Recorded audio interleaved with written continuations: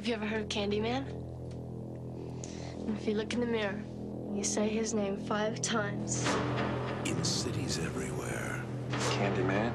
they whisper his name. Right.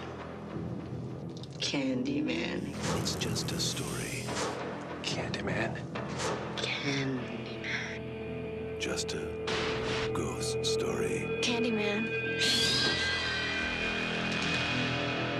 Entire community starts attributing the daily horrors of their lives to a mythical figure. The legend first appeared in 1890. He was attacked, mutilated, and burned to death. Poor Candyman. Helen, a woman died in there. Leave it. Everyone knows he isn't real. That's modern oral folklore.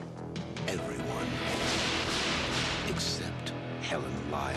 Bernadette, it ain't safe around here. I don't scare too easy. Wanna know about Ruthie Jean? They ain't never gonna catch him. Who? Candyman. Who is that? I came for you. Do I know you? Now she is about to discover Helen? Get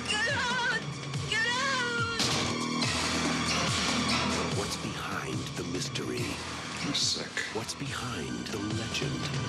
Listen, he's under the bed! And most terrifying of all, Come with me. what's behind the mirror. He's here.